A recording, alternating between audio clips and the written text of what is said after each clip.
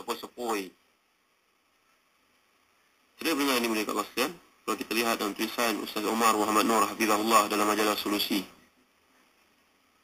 Dalam bab syafaat. Syafaat Rasulullah sallallahu alaihi wasallam. Syafaat ini ada berbagai-bagai bentuk. Hadis yang beliau huraikan adalah Likuli nabiyyin da'wah Likuli nabiyyin da'watun mustajabah Fata'ajala kullu nabiyyin da'watahu Setiap nabi ini ada dakwah yang dimustajabkan Allah Subhanahu wa taala, mukjizat. Dimohon Allah makbulkan. Tapi Nabi Muhammad SAW ini sentiasa menyimpan doa tersebut ataupun permintaan kepada Allah itu dalam bentuk syafaatul uzma.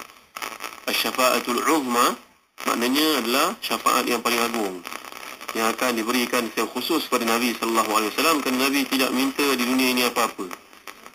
Nak diberikan jadikan gunung itu emas sekalipun Nabi tidak mahu. Kalau kita nak Kenapa nak emas banyak sangat nak bagi pada orang? Itu kata kita bila dah dapat, Allah Akbar, habis semua lupa. Sahabat pun seperti je sahabat lagi. Ayah ibu pun dibuang begitu saja. Allah Akbar. Beza kita. Jadi, saudara pendengar ini boleh kat Allah dalam kisah yang dikemukakan di sini. Iaitulah Allah SWT mengurniakan kepada Nabi Sulaiman kehebatan dengan sebab istighfarnya banyak kepada Allah ini nikmat yang lain dengan sebab itulah mewakafkan atau menghadiahkan ataupun menyembeli mana-mana pandangan sekalipun terhadap kuda yang dimiliki yang banyak itu haiwan-haiwan yang dipanggil sebagai kuda ni maka Allah SWT berikan kepada Nabi yang mulia yang hebat ini Nabi Sulaiman AS angin yang bolehkan dia bergerak ke mana-mana sahaja. Nanti kalau kuda yang pantas ni angin yang sudah tentu lebih pantas. Ini nikmat Allah SWT kepada Nabi Sulaiman Nabi Muhammad sallallahu alaihi wasallam dan umat baginda pun harus faham. Tidak memberi itu bukan makna Allah benci. Tidak beri itu sebab Allah nak bagi satu yang lebih baik. Memberi itu bukan tanda sayang. Memberi itu kadang-kadang istidraj. Sedang nak semua-semua dapat. Akhirnya rosak dia. Umpama kita ada anak. Anak kita baru habis UPSR. Kebusannya cemerlang. Dia minta sebuah kereta. Kita beli kereta untuk dia. Dia tak boleh mandu lagi. Tak ada lesen lagi. Dia pun bawa ikut emosi dia, aksiden. Na'udzubillah. Maknanya, penahanan tidak memberi itu. Bukan makna benci. Tidak memberi itu mungkin ada satu nak untukkan lebih hebat daripada itu. Artinya kuda ini walaupun hewan yang hebat, yang amat disenangi, tetapi Nabi Sulaiman telah pun wakafkannya atau menyembelihnya mana satu pun tafsiran tersebut. Tapi ternyata Allah SWT berikan kepada Nabi Sulaiman angin yang kencang, yang kuat.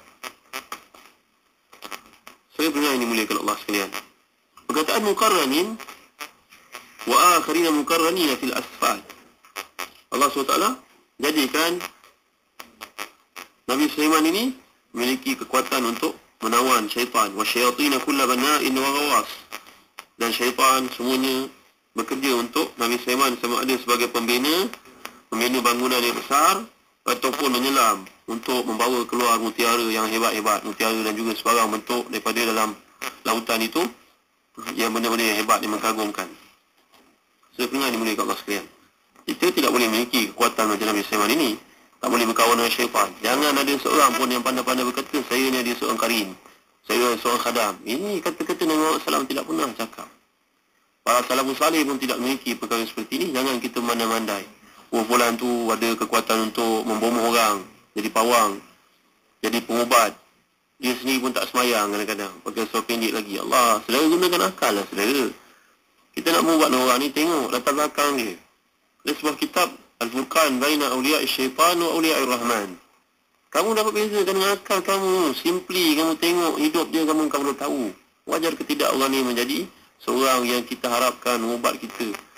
Padahal dia sendiri pun tak menutup aurat. Padahal dia sendiri pun rumah dekat dengan masjid tak pernah hadir, Jumaat pun tidak datang.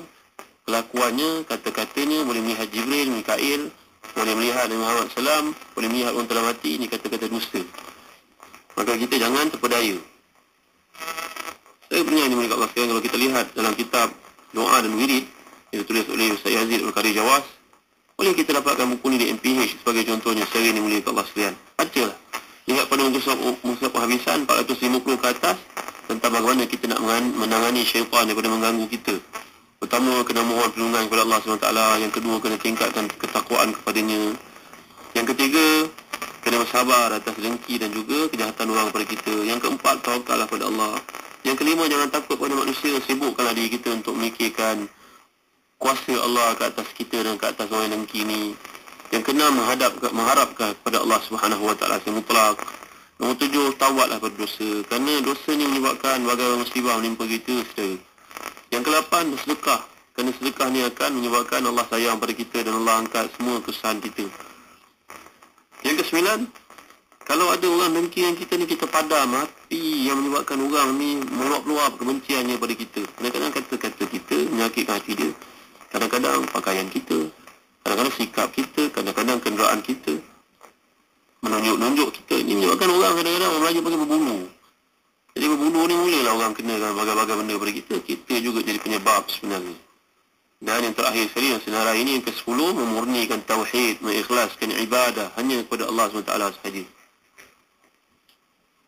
Lagi kalau kita lihat banyak perkara-perkara yang diajar Nabi SAW. Sebagai contohnya, dalam sebuah hadis yang sahih riwayat Bukhari dan juga Muslim jika kana junful lail atau amsaytum fakufu sibyanakum fa inna syayatin tantashiru hina id fa idza dhahaba sa'atu al-layl fakhalluhum wa aghliqu al-abwab wa dhkuru isma Allah fa inna syaitan la yaftahu baban mughlaqan wa awqu qirabakum wa dhkuru isma Allah wa khamiru aniyatakum wa dhkuru isma Allah walau an tu'radu walau an ta'rudu 'alayha shay'an wa athimu ma masabihakum dalam hadis ini Nabi bersabda, bila kegelapan malam telah tiba, masuk waktu maghrib, bawalah anak-anak kamu masuk ke dalam rumah. Kerana syaitan bertibaran pada waktu itu. Bila malam telah pun lalui, telah pun melaburkan tirainya, maka lepaskan mereka. Tapi tutuplah pintu dan sebutlah nama Allah. Bacalah Bismillah. Kerana syaitan tidak akan dapat membuka pintu yang tertutup. Benda ni, saudara boleh buat eksperimen tak? Tak boleh.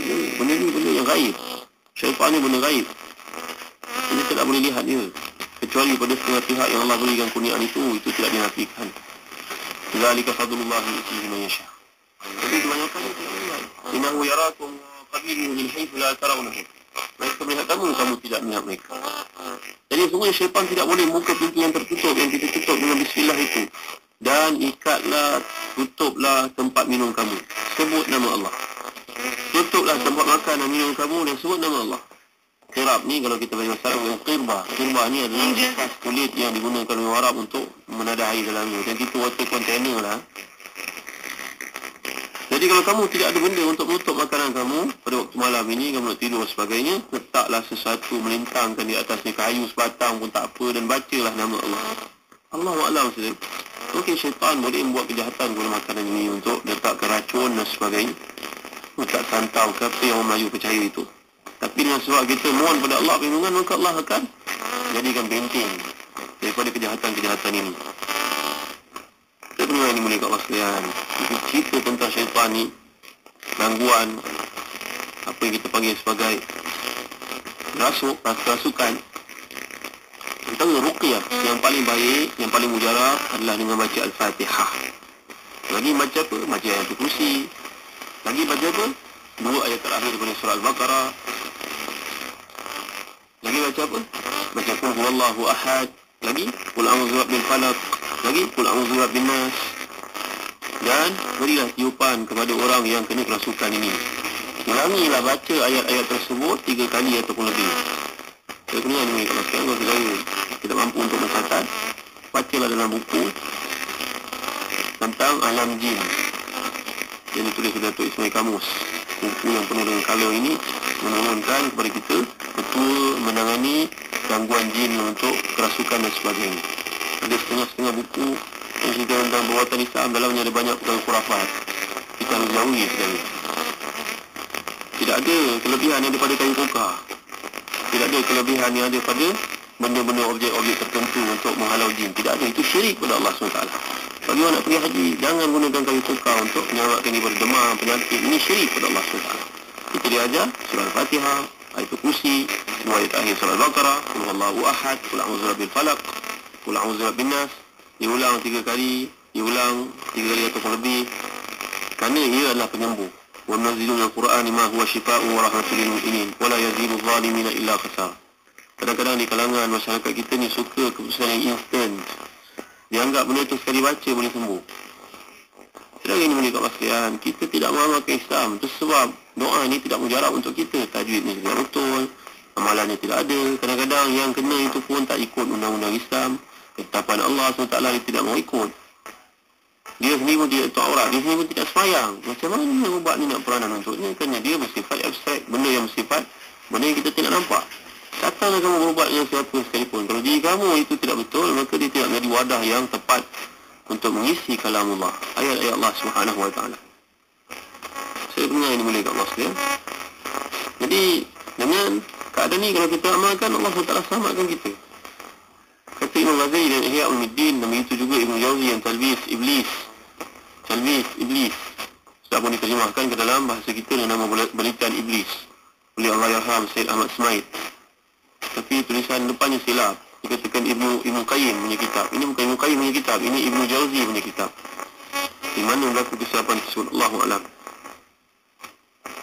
Jadi dia ajar kita dalam talbis Iblis dan juga Ihya Ulmiddin Persenjataan yang hebat ini hanya akan berfungsi bila kita beritizam menggunakannya. Bukan saat kita susah, barulah kita nak menggunakan. Dia tidak akan jadi senjata yang ampuh. Dia tidak akan bermakna. Waktu kena, baru kita nak pakai, tidak jadi. Kita kena beritizam dengan ayat-ayat Allah SWT ni sebagai pakaian, wirid-wirid tersebut sebagai amalan, barulah dia jadi pembimbing untuk kita secara jadi, sekali ini mulia Allah sekalian, orang yang kena kerasukan ni kena menjujurkan dirinya, memberikan penumpuan kejujurannya kepada tauhid yang murni pada Allah SWT. Dan orang yang mengubat pun kenalah ada kadar yang minimum. Ini minimum requirement dia mestilah seorang yang tauhidnya bersih, akidahnya bersih. Barulah senjata tersebut akan berpaan untuk melawan musuh Allah SWT ini. Tanpanya, saudara yang dimuliakan Allah sekalian, perkara ini tidak akan memberi semangat kesan kepada kita sebenarnya. Jadi ini kita bincangkan tentang gangguan syaitan. Lanjut kita cerita benda ni kerana kaitan syaitan ni berulang-ulang dalam ayat Allah Subhanahu Wa Taala sebagai ingatan kepada kita bahawa perkara tersebut wujud dan beriman dengannya adalah satu tanda iman kepada Allah SWT kerana ia adalah satu yang warid dalam Al-Quran Karim cuma bagaimana kita menangani persiapan kita dinding, pendinding diri, kekuatan diri, antibody, antibody diri untuk menanganinya dia akan membantu kita untuk mengatasi masalah-masalah tersebut. Saya pun ini mereka Allah sekalian. Ayat ini sebut wasyayatina kulla bana'in walawas dan kami tundukkan kepada Nabi Sulaiman ini syaitan-syaitan semuanya ahli pembangun bangunan dan juga penyelam. Rupanya syaitan ada banyak specialization pula. Ada yang pakar bangunan, ada yang boleh menyelam dalam laut, ada yang bawa wadah-wadah seperti periuk besar daripada dalam laut lautan ini. Ini apa yang kita panggil oyster, bawa keluar bahan-bahan yang pelik lautan untuk kegunaan Nabi Sulaiman, permata dan sebagainya. Kita cerita kehebatan ini yang akan kita lanjutkan dalam kuliah akan datang. Pekerjaan-pekerjaan berat yang tidak mampu dilakukan manusia ini adalah satu anugerah Allah kepada Nabi Sulaiman menakluki jin dan di bawahnya bernaung segala bentuk makhluk semuanya izin Allah SWT ada satu soalan yang kemukakan para ulama tafsir. Apakah semua jin dan syaitan di bawah kekuasaan Nabi Sulaiman? Soalan ini akan kita jawab dalam kuliah akan datang. Allahu alam. Sallallahu ala sayyidina Muhammad wa ala alihi wa sahbihi wa baraka wa sallam